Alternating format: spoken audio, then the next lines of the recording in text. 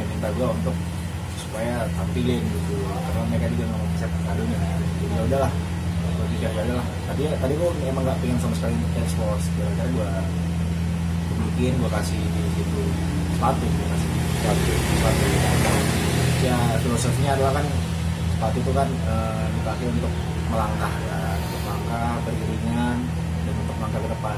Gue berharap ya sepatu itu selalu dipakai untuk sebagai pengingat juga kan.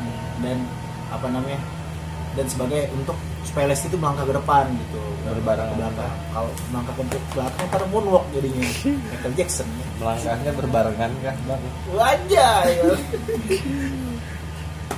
ya pokoknya melangkah aja dah. Langkahnya ke depan pasti ya, Melangkah bukan depan. mundur ya. iyalah. Oke. Bang yang menarik lagi kan ini selain lagu lu yang akhirnya Hmm. trending juga. Hmm. Belum lama lu update nih kayaknya berapa jam yang lalu lu update juga di channel lu. Menarik banget tuh. Ajak mami datang ke rumah Lesti bosku. Itu Iya. apakah sinyal apa sih bang mungkin yang lu sampein? No, salah ngepost no. Jadi bahan sama mereka, no. Gak usah besok nih. ya, apa ya, ya. Kan gue emang emang emang silaturahmi ya. Silaturahmi gue tetap jaga. Dan itu kan emang saat itu kan gue lagi syuting video klip ceritanya bukan bukan ceritanya sih emang gue lagi syuting video klip. Dan lokasinya itu dekat rumah Lesti rumah Dede. Dan dan saat itu ibu gue lagi ikut ibu gue lagi ikut. Terus eh, gue bilang ini rumah Lesti dekat kok bu? Gitu. Oh mau dong ketemu ibu juga senang lihat anaknya. Gitu. Ya udah sembari karena pulangnya cepat juga syutingnya dan rumah Lesti dekat dari lokasi syuting video klip gue akhirnya gue ke sana mampir.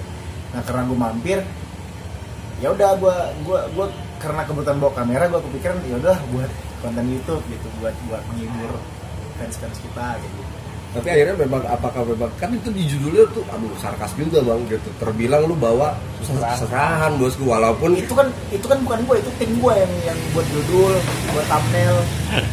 Jadi ya ya itu kan faktor penarik ya faktor penarik nonton.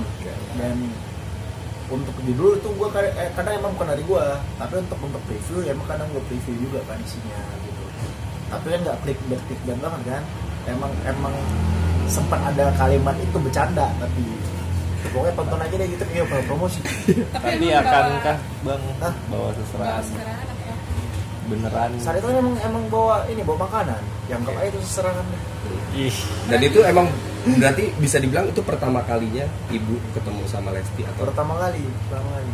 Dan apa komentarnya bang? Akhirnya apakah kan terlihat dari dari terjemahan channel lu tuh lu kayaknya seru banget gitu sampai lo udah nonton ngobrol. gue aja belum nonton iya bang. Maksudnya se, se, se- sedekat itu gitu loh seintim itu akhirnya. Apakah memang itu sinyalnya apakah memang untuk menuju serius bosku gitu ya kan tujuannya emang silaturahmi dan res- responnya positif sih dari ibu gue sendiri. Ibu gue sendiri senang kan eh, anaknya emang ramah dan bisa mengambil hati orang tua gue juga kan kayak gitu. Ibu kan paling paling nggak paling nggak bisa ngeliat eh, ini eh, orang yang sopan baik kayak ngerangkul ngerangkul gitu anak manja. Jadi ya ya senang. Wah baik ya anaknya.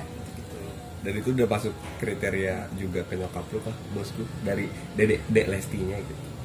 Ya Lesti. Des. ya ya ya bisa dibilang nyokap gue emang suka sih sama ini anak. Karena emang emang dia eh, pembawaannya emang emang humble ya. Eh, supel dan emang ramah ke siapa aja. Dan sempet kaget gak sih bang? Mungkin saat lu dateng biasanya sendiri tiba-tiba ada lengkap bosku? Kaget kaget karena kan nggak eh, tapi saya sempat bilang ya gue sempat bilang kayak ini ibu kan lagi lagi nemenin kakak nih gitu nemenin kakak eh, syuting video klip. Nggak apa-apa ya ada ibu ya. Wah serius kak? Ya udah kayak gitu. Akhirnya kaget juga dia. Tapi nggak apa-apa kak. Malam-malam ibu diajak gini ke sini gitu. Karena udah jam 9 jam 10 gitu kan. Ketemu orang tuanya juga dong berarti. Pertemuan antara kedua orang tua. Mm-mm. bisa dibilang begitu nggak bang ya ya karena sebagai tamu orang tuanya ikut ini eh, ngobrol gitu. Pasti ngejamu kita juga kan. Dan kan ada beberapa komentar kalau gue lihat tuh di kolom channel lu tuh kayak apakah udah menentukan tanggal? Sampai sebegitunya tuh bang netizen. Tuh gimana itu lu menanggapinya? Apakah benar gitu? Di balik konten itu memang ada tersirat untuk niat yang baik bosku. Emang kita udah ada di tanggal sih. Tanggal mau rilis single baru kayaknya Wah ada ada aja lu. Bang, enggak bener kan- tapi itu lu kalau bisa cek Enggak, itu itu kan sebatas sebatas silaturahmi sih karena kebetulan emang dekat rumahnya ya udah mampir sebentar gitu. dan akhirnya kesan yang yang akhirnya didapat setelah balik dari rumah Lesti mungkin dari nyokap sendiri apakah yang disampaikan ke lu bosku yang disampaikan nyokapnya Lesti. Mm-mm, dan nyokap lu juga gitu setelah pertemuan kemarin. Nyokap Lesti tuh nggak nggak banyak bicara orangnya.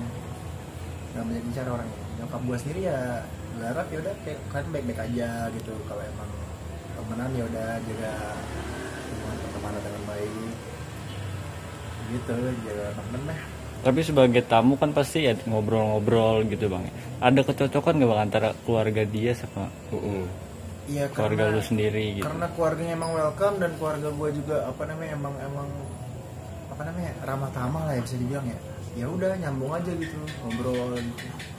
dari personal lu kan Bang Bil itu juga yang orangnya tuh selengean juga terus lucu. Enggak, gue udah kalem sekarang? Lucu, lucu juga gitu. Terus yang ngelihat Lestija juga kalau ketemu orang juga sukanya begitu. Itu kayak ada kesamaan yang nggak nggak bisa dibilang ini mungkin jodoh gitu bang bisa dibilang gitu nggak sih?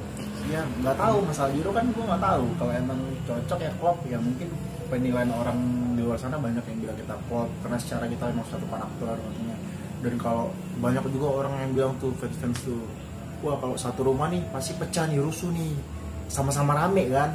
Belum lagi nyokap gue tuh. Nyokap gue kan suka bercanda juga tuh. Ke mana aja nih ngelirik mulu kan di youtube gue kan pakai message lagu lagi. Sungguh aku bahagia punya mantu kayak dangdut. Sahabat nyokap gue tapi akhirnya nyokap lu aja udah bilang itu bantu bang gitu. Jadi kan emang kayak Iya, calon emangnya mungkin nyokap ya. gue tuh bercanda, suka bercanda. Oh, suka bercanda ya, Bang, ya? makanya kan makanya itu dan jadi konten juga kan di youtube gue dan banyak orang yang malah mungkin sekarang banyak fans emak gue daripada fans gue sendiri serius bang Bang, Wah, tapi kan lucu ya. kemarin kedua orang tua bertemu nih, ya kan? Mungkin ada obrolan nggak sih kayak, ini anak kita dijodoh-jodohin nih atau kita dijodohin aja? Iya. kan awalnya gitu bang dari Leslar nih ya ya ya nggak ada sih maksudnya belum ada omongan kayak gitu walaupun kita bercanda kan emang saat itu kan apa namanya kita nggak lama juga sih waktu itu jadi nggak nggak panjang ngobrolnya. Ke depannya mungkin akan lu uh, bawa lagi kah nyokap kalau misalnya memang ada waktu dan kesempatan gitu untuk ya mungkin entah makan bareng bang sama keluarganya Lesti atau hangout atau dan yang lain-lain ya. Ya ya kemungkinan nggak tahu sih nggak belum belum belum tahu belum ada plan juga. Ya bisa jadi jadi ya bisa jadi eh, nggak juga kan. Yang sekarang fokus gue agenda gue apa ya gue fokus ke lebih ke ya udahlah gitu gue fokus ini dulu untuk ngembangin single gue dulu untuk eh, apa namanya ya sembari sembari kita tetap jaga hubungan baik lah di silaturahmi Kalau- ya Atau ada mungkin berbalik bang Lesti yang ke rumah sama nah orang gantian tua, gitu orang tuanya gitu. Dek, dia, dia mau ke sini sama orang tua dia. Enggak lah, apa namanya? Ya nggak tahu, nggak tahu juga. Dia, dia juga belum ada rencana mau ke sini. Tapi kalau di luar uh, konten sendiri, misalnya kayak uh, kalau di YouTube sendiri, kalau di luar uh, kamera bisa masih ketemu gitu nggak maksudnya uh, masih uh, sering jalan bareng. Belum pernah. serius Serius. di luar konten Di luar konten. apakah memang lu nggak berani atau emang emang bukan murim nih gue kayak nggak boleh ngajak dia dulu nih gitu. Apa gimana bang